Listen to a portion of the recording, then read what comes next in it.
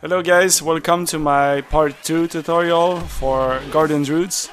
Uh, Guardian has a basic uh, priority system. It is important to be maximizing the procs and using our damage abilities on cooldown to generate high amount of rage while maintaining our active mitigation. Like I explained in the preview video, Gore has a chance to reset cooldown of Mangle and codes to generate more rage, so it's important to track procs from Mangle and to get the most of it. With Galactic Guardian talented, you want to watch for the proc of Moonfire and use it as often as possible. So in this video we will see how to execute a rotation. We will divide the guide in four parts, how to play defensive, offensive, how to play cat weaving, and how to survive as long as you can. If you need to play defensive, you need to execute this following priority. Before we get into this rotation, I invite you guys to watch in the middle of my screen.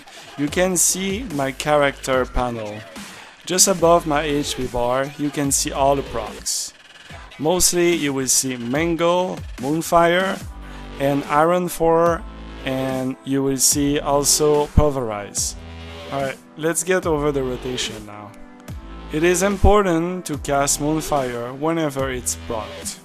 Cast Mangle on cooldown, cast Thrash on cooldown, cast Pulverize, maintain it up all the time, and cast Swipe as a filler.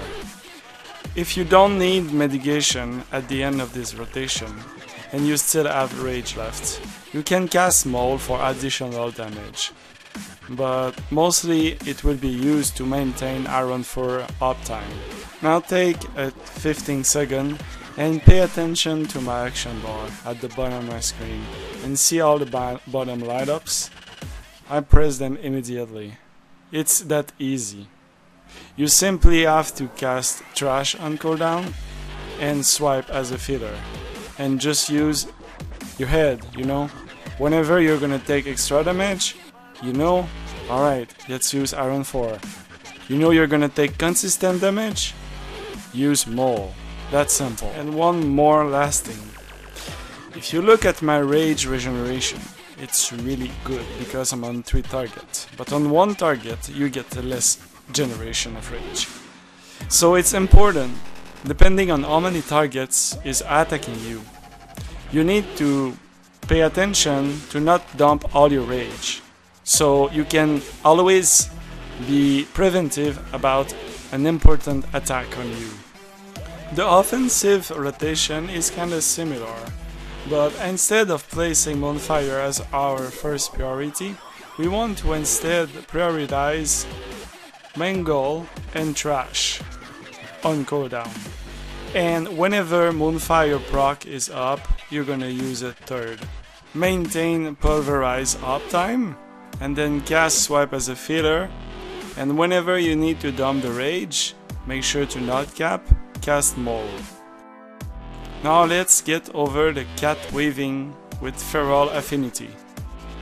In cat form, you will have different abilities, such as Rip, Rake, Shred, Ferocious Bite, and Thrash. Cat weaving is a very simple rotation. You need to maintain in top priority Rip. It's a bleed effect that lasts 24 seconds. You need 5 combo points though. The second dot ability is called Rake. It generates 1 combo point and lasts for 15 seconds. So generally you want to start with casting Shred to generate combo points, apply Rake, and then you want to apply Thrash and go for shred, shred, shred, and then apply your rip ability.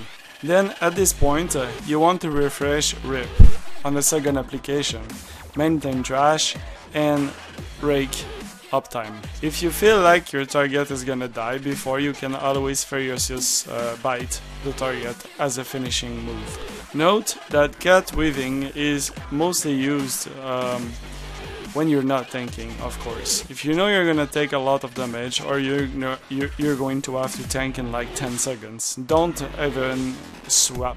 Just stay in bear form and keep going with your rotation, normal rotation. Ideally, you want to go cat weaving for a period above 30 seconds, or at the beginning of an encounter. I still think this is a poor decision to go cat weaving uh, at this point of the tier. Uh, so I don't think it's a really strong alternative. Alright, so let's see what it is when you're fighting an enemy. Well, this tree you're gonna say is really weak, but the longer you tank him, the more he grows. So it will get stronger and hit you harder. At the beginning I don't take a lot of damage, but I'm using mitigation, I have Pulverize up, I have Ironfur up, and I just keep doing my normal single target rotation. Cast Mangle whenever it's up, and cast Thrash whenever it's up, and then if you have Moonfire proc, cast it, then go with Swipe as a filler, and whenever you feel like you have too much rage, you can dump one Maul and then apply one Ironfur. But at this point, you don't take any damage. Later on the fight, I will start to take more damage, and now I will start to use Frenzy Regeneration. This will allow me to regenerate maximum 5% of my HP pool. So you cannot use it like it's not it's not good to use it when you're like at 50%. As soon as you start losing let's say 10% of your HP, try to use it as much as you can. So the next stack refresh, you know, and you get early on. Also, you want to use Iron um, Barkskin, I mean Barkskin as much as you can, uh, pretty much off cooldown.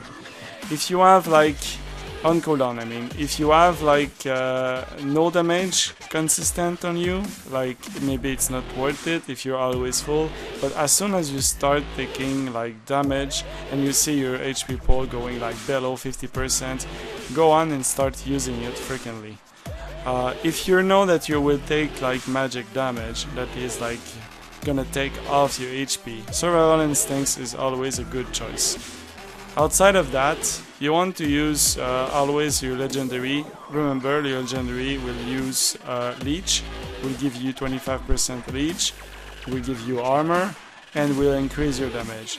So it's pretty good to time it well or use it on cooldown depending if you need it.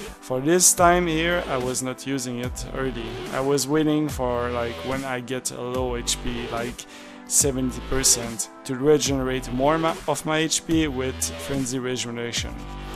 As you can see too, I keep going with uh, all my, my mitigation uptime, you know, like they're always up and they're always rolling. I refresh them uh, usually when they have like 3 seconds left. If you notice too, uh, because I'm on a single target, I don't generate a lot of rage. That's why I'm not using swipe as a filler. I have to time my things better to maintain my survivability to last till the end of the, of the fight. At this point, I keep rolling on my Frenzy Regeneration and my Ironfur at all time. Let's fast forward a little bit the video. So now you can see uh, I'm losing like a lot of HP and I cannot keep up with the incoming damage. So now I have to really play defensive. So I don't use Maul at all and like I try to maximize my rage as much as I can. Not to do mistakes, you know. Try to use all my mitigation uh, buttons when I need to. So frenzy regeneration is like always Whenever it's come up, I use it. Whenever I can do an Ironfur, I do it. Whenever Barkskin come up, I use it. You know, like I don't, I don't wait. At this point, I just keep rolling. I have a lot of damage coming on me, and I doubt that like a tank who is like poorly geared right now could survive all this time my DPS is still good, I mean 350k DPS on single target for that long of a fight. I mean, you have to prioritize sometimes your mitigation instead of your DPS to make it a win. Alright guys, this concludes the second part of my guide uh, for Guardian Druids. Uh, that is about the rotation and the playstyle.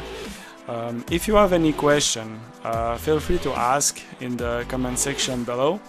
Um, outside of that, you can drop a like, and if you never If you did not subscribe yet, you can always subscribe. Alright, stay tuned. Uh, for the next part of my video, which is part 3, I will try to cover stat priority, races, gear and consumables, and um, interface and macro and WeakAura. So stay tuned.